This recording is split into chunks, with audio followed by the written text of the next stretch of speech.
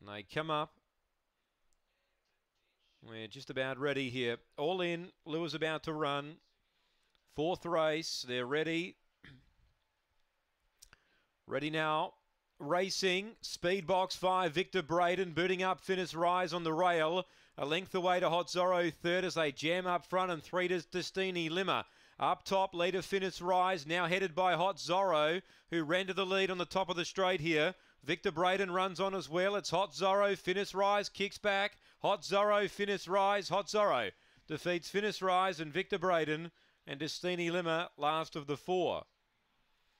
So uh, Hot Zorro with a good turn of speed down the back has raced to the lead. Couldn't quite get away from Finis Rise, but in the end has has pulled clear to win.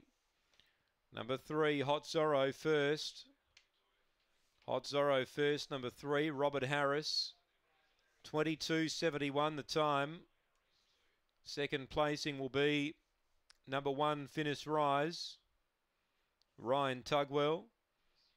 And third placing, we stand by for, should be in the way of number five, and that's confirmed now, Victor Braden. Five is third. And uh, fourth will be number seven, Destini Limmer.